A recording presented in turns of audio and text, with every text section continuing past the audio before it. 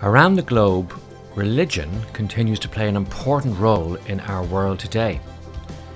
DCU's BA in Theology and Religious Studies offers students the opportunity to reflect on the significance of religion, how religion has influenced the past, but also how it continues to shape the present. In studying topics such as world religions, sacred texts, ethics, and interreligious dialogue, students will engage with the sources, beliefs, and practices that have shaped the societies and cultures in which we live.